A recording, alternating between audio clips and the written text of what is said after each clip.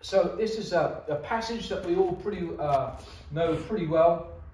Uh, Jesus uh, walking on water is slightly different in John's Gospel to a couple of others. He, he, he uh, strips it back, it's really um, simplified. But I just want to kind of lay the ground of the context of what is happening here. So uh, remember, um, John the Baptist went before Jesus. So John the Baptist, his ministry, he was a, a, like an Old Testament prophet in the New Testament. He was like the turning point in the book. Uh, he was uh, represented the old, but also brought in the new.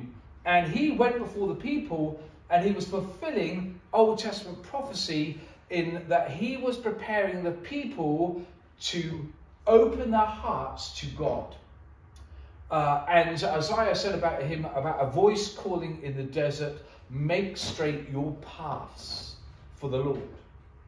So uh, he uh, would go around and he would uh, preach uh, the kingdom of God and he would call people to repentance, to turn away from their sinful ways and prepare them to turn their hearts to God.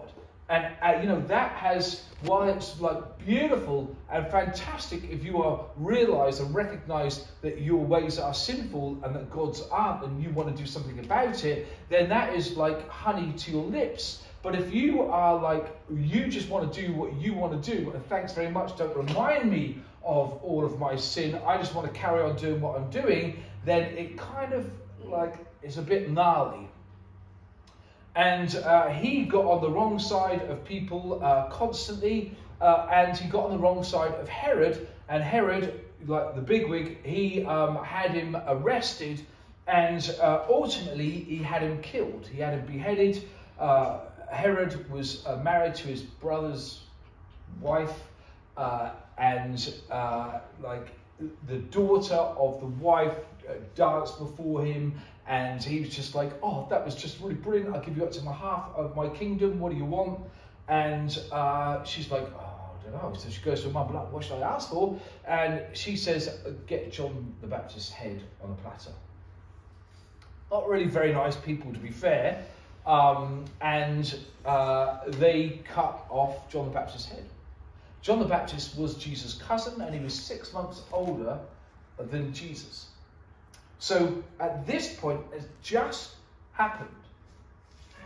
Jesus hears that John, his cousin, who's preparing the way for him, has just been beheaded because of what he was doing.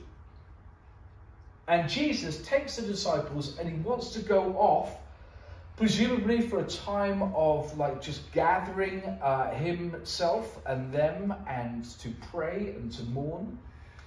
But on the way, as he goes out into like the desert area, all of the people start just coming towards him. And when he looks at them, he can't just carry on and do what he wants to do because he has compassion on them and he says they're like sheep without a shepherd. He has to react to them because he sees their need. And he ministers to them, he teaches them, he heals the sick, and then he feeds them with bread. And then after that, the disciple, he sends the disciples off, so he goes up to the mountain and he has that time alone. I guess just to recoup and then he comes down, and then we get this account where he like walks on the water. The disciples are rowing like crazy. It's all pretty frantic. All hands on deck. The waves are hitting, and Jesus like just passes them by. And like I was looking at uh, N.T. Wright uh, uh, yesterday, and in one of his commentaries, and he was saying this whole passage and the passage before, he sees that John, the author of John's Gospel, uh, that he was trying to point to um, the Exodus, when God delivered the people of Israel out of slavery. And he likens it to like um, when they went into the desert and they were fed with manna from heaven. Jesus goes into the desert and the people follow him there and he feeds them bread. And then he likens like the parting of the Red Sea out into freedom as Jesus walking on the water. Now, this is one of those miracles that a lot of people struggle with as well. And there's loads of like teaching of uh, like it was a really shallow lake, and Jesus was actually walking on a sandbar, and uh, and I just kind of think, okay, if you want to go with reason, then why didn't the disciples just jump out the boat and walk on the sandbar too? I know they're muppets, but come on, give them a bit of a, you know, give them a bit of credit. Sometimes you just got to accept the impossible. And I was looking at this passage, and I've got to say, I could like preach for like hours. I won't. I could preach for hours on uh, the stuff in here, but I was like, okay, Lord, what do you what do you want to say for this? And actually, I really struggled. You, which is ridiculous because it's a brilliantly simple passage to preach on. But I'm like, I don't want to just preach on what I know. I want to know what He wants to share. That's a whole different ball game. That is. And when I was looking at the words that just kept speaking to me were when Jesus responded to them, is I don't be afraid. And I think like I just thought about the whole passage like Herod and John the Baptist. Herod was intrigued by John the Baptist. So he had him arrested. He didn't want to kill him because he saw that he was righteous and holy. So he recognized the fruit in his life but it didn't mean enough to him. It didn't mean enough to him to change.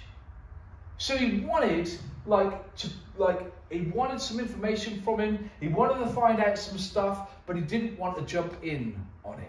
He didn't want to repent. He didn't want to turn to God. He just wanted to know what he could get from this religious guy who was like intrigued by. And that was just so common and is so common today with spirituality. We, we just like, we tinker with stuff. And the disciples, when I look at the disciples, they were afraid. What were they frightened of? If you look at that footnotes, it would say that they thought that he was a ghost. And if you look at further footnotes or any commentaries, when they say that they think it was a ghost, they think he was a spirit that comes out at night in a storm. And they were worried or afraid of a spirit at night. Know why they're not worried or afraid of them during the day. I don't think it makes any difference. They suddenly become nasty at night and they're like really pleasant during the day. Um, but they were like freaking out because of that. So they had this kind of Mickey Mouse belief and idea of, of who is Jesus. So they're like, the waves are coming, and I can imagine that when they're pulling, they're like, if only he was, he was here. If only he was here. But Jesus arrives and he looks at them and he says, It's me. Don't be afraid. And I think so often we are afraid. At this point, I would just want to share that the disciples still haven't realized that Jesus is the Messiah. It's, it's remarkable when you think about what Jesus has already done, but they still haven't come to the point. There's another couple of chapters after this that the disciples, uh, Jesus takes them up to a place called Caesarea Philippi, which was called uh, after like the Greek god uh, Pan. And there was all sorts of Mickey Mouse beliefs going on there. It was like a smorgasbord of spirituality. And Jesus took the disciples there, and when he gets there, he says, like, look at the circus, mate. I'm paraphrasing, he didn't actually say that, but that, like, look at all this jibber jabber. Who do people say that I am? And they're like, oh, people say that you're like Elijah. And, some of them, uh, they're like, oh, oh, people say that you are a prophet. And he says, okay, who do you say that I am? And that's when, so it's like after this, but that is when Peter has his revelation from the Father you are the Messiah, the Son of God. And Jesus, like, you got it. That was given to you by the Father. So at this point, Jesus comes up to them next to the boat, and they still don't really get who it is. He says, It is I. It is I. Don't be afraid. And they let him into the boat, but they're still not quite sure who they've invited into the boat. I remember when uh, I was in New Zealand and um, I didn't know Jesus from Adam, and uh, I w- hadn't been brought up a Christian. I'd never went to church. My mum, well, I lived in Wales. My mum did take me to Sunday school once, and afterwards, all I remember she, her saying was, "We're never doing that again." And I don't think it was anything to do with the Sunday school. I think it was more to do with us. Uh, but there we are. Uh, we didn't really fit the slot.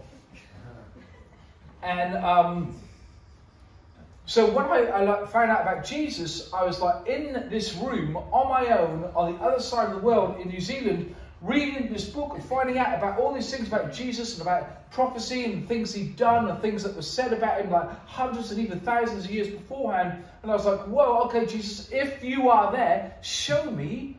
And he showed me all the stuff that I had done. So he didn't show me himself, he showed me me and all the people I'd hit during my life. But what he revealed to me in that instant was that he was there when I did it. But he was there when I was six years old. He was there when I was 12, he was when I was 15, he was when I was 24, just like banging people. He was there when I did it. And I realized immediately that he was there when I did it. He was in the room with me, sharing this stuff with me. And I realized before I had even read a Bible that he was everywhere all of the time. That there was no getting away from him. Psalm 139, which I had no clue about at the time, Psalm 139 says, like, you can't get away from him. If you go up to the highest mountain, he's there. If you go to the depths of the earth, he's there. You go down to the depths of the ocean, he is there. And even darkness is as light to him. There is no escape. I didn't know those verses at the time, but when I read them, I'm like, yeah, I know it. Because of what he shared with me then. And this is what I knew. I knew nothing theologically. Like, this is my first encounter with Jesus, but this is what I knew. You are awesome. I don't mean like you're so cool. I mean you are everything. And I am nothing. That's what I recognized straight away. Like, I hadn't thought that before. Before that moment, I was everything. It was all about me. Obviously, it was all about me. And then I encountered Jesus and I realized it's all about him. I realized that he is the one who has all power. He is everything, and all of a sudden, I'm just like he's creator and I'm created. Like he's the potter and I'm but a piece of clay that he has created. That, can you see like how that changes your perspective? all of a sudden I was aware that he has got everything. And I didn't theologically know what to do, but I yielded to him immediately. It was another week before I went to church because I couldn't understand what church I'd do with Jesus. And uh, I, so I didn't put the two and two together. I thought it was a place for old women and knitting. I've got to be honest, I really did. Uh, that was uh, my experience, or I don't know where I got that from because I've never actually been into church to see that, but um, that's what I thought it was all about. And I'm like, what's that got to do with Jesus? Like, he is radical, he is everything. And a week later, I went into the church and I got there, and everyone's being polite. I'm like, get out of the way, get out of the way, get out of the way. I just need to go and sit at the front. I don't know why, and that's when people knew that I didn't belong because I sat right at the front. He's either a minister or a weirdo. I was a weirdo. And uh, the bloke got up and he preached, and it's just like every single word was for me. It was like there could have been no one else in the room. It didn't matter to me. God was calling me. And then the bloke says, if anyone here wants to give their life to Jesus Christ, just come up to the front now uh, while we sing this song. And I walked straight up and he went, What do you want? I'm like, I want to give my life to Jesus. He says, uh, Kneel down and pray while we sing this song, and then I'll get all the blokes in the church to come over and lay hands on you. I had no idea what any of that meant.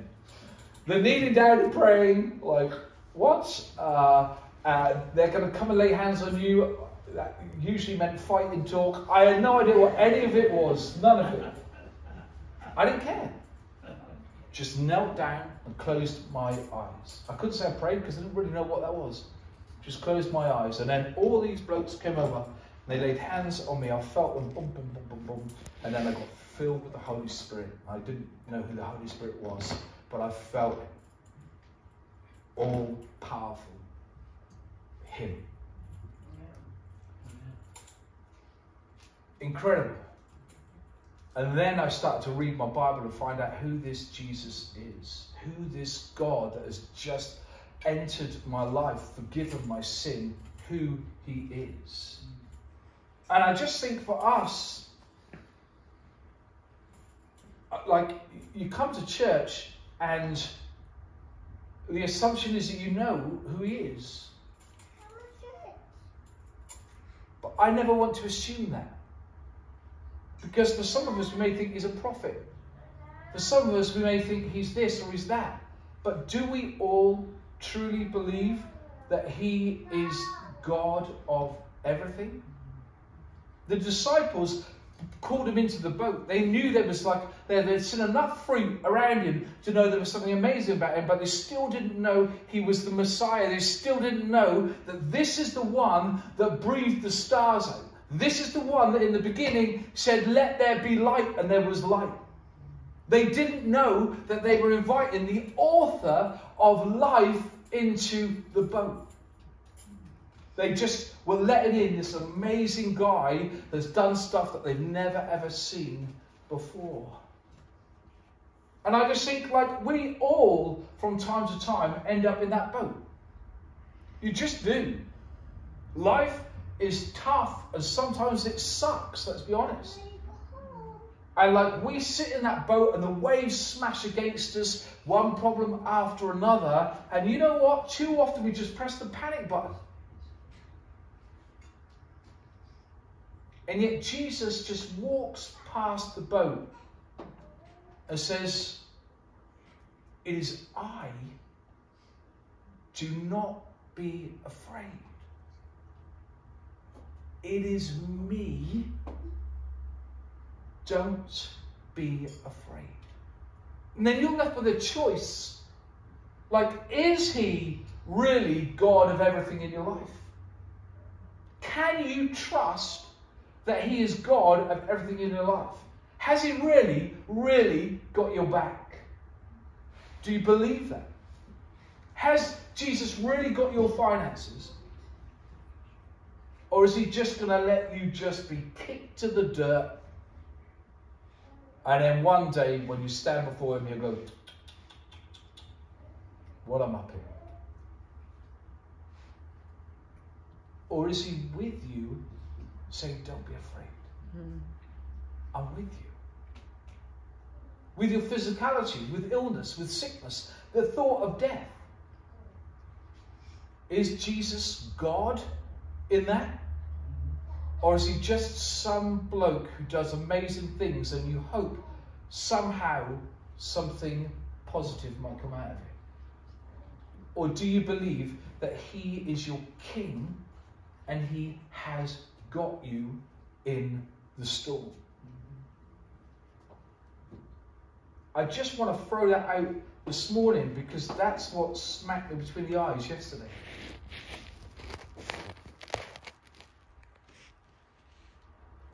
It is I, don't be afraid. So I wanted to uh, remind us of who God is and where we can place Him in our lives. Because we need reminding, because the storms they come. And it's so easy and tempting to focus on those waves, isn't it? It's ridiculous how easy it is for us to focus on the jibber jabber and not to focus on the I am who is in control not only of the waves and that boat, but the lake, the mountain, the people, the stars, the blackness in between the stars. He's got it all, all of it. He holds all of it. And we need to be reminded that our little problems are really, really not problems for Him. Don't be frightened. It's me. So I'm just going to read this uh, from uh, a guy, it's old, uh, I've read it before, and I'll read it again. Uh, a guy called Dr. Lockridge, and he was spotted in a crowd at a conference a long time ago, and he's asked to come up and, to the platform and to open the proceedings with a prayer. And this is a transcript of what he said when he was asked to just come up and pray. It's long. I'll take a deep breath. But while I read it, I want you to think about your life and where is Jesus in the storms? Where is Jesus in your security? The Bible says, My king is a seven way king. He's the king of the Jews, that's a racial king. He's the king of Israel, that's a national king.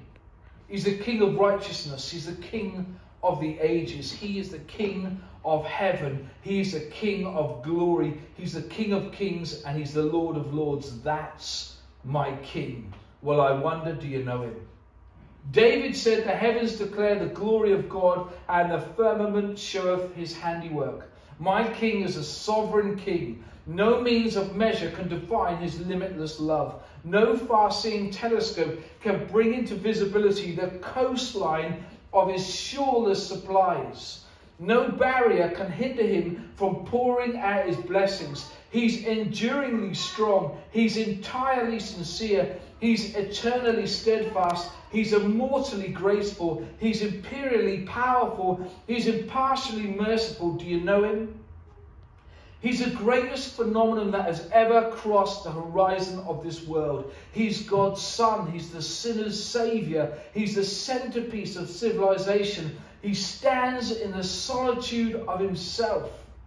He's august and he's unique. He's unparalleled. He's unprecedented. He's the loftiest idea in literature. He's the highest personality in philosophy. He's the supreme problem in higher criticism. He's the fundamental doctrine of true theology. He's the core and necessity for spiritual religion. He's the miracle of the age. Yes, he is.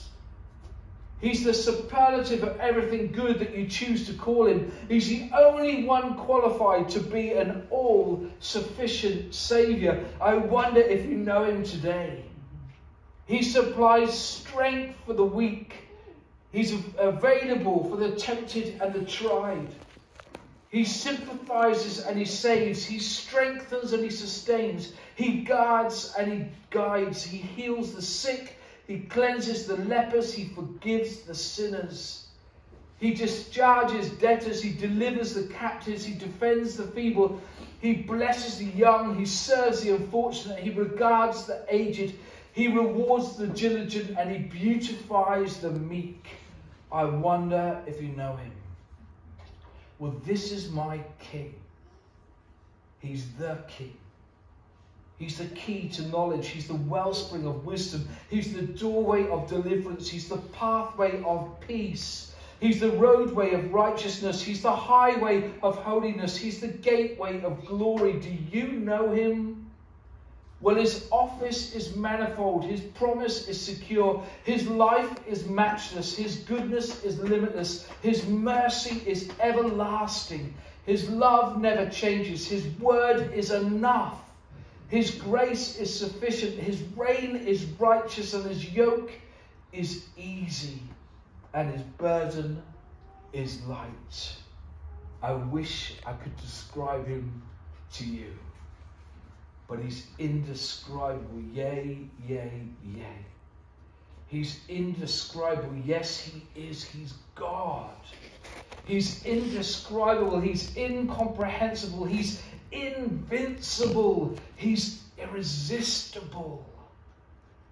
You can't get him out of your mind. You can't get him off your hands. You can't outlive him and you can't live without him. The Pharisees couldn't stand him, but they found out they couldn't stop him. Pilate couldn't find any fault in him. The witnesses couldn't get their testimonies to agree. Herod couldn't kill him. Death couldn't handle him. And the grave couldn't hold him. That's my King. That is my King, yea. And thine is the kingdom and the power and the glory forever and ever and ever and ever. And how long is that?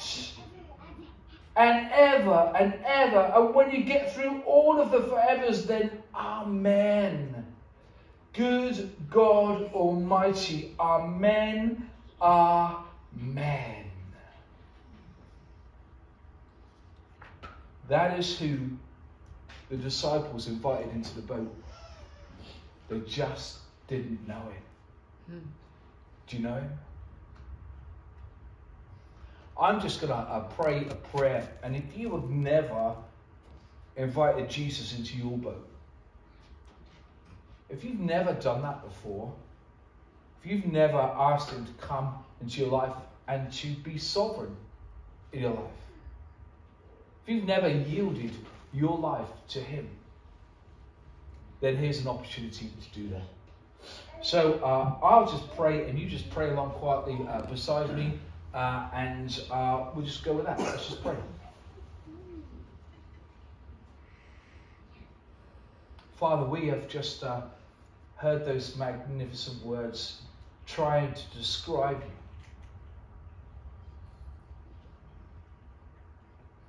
There's just not enough words. You're just bigger than all of our words.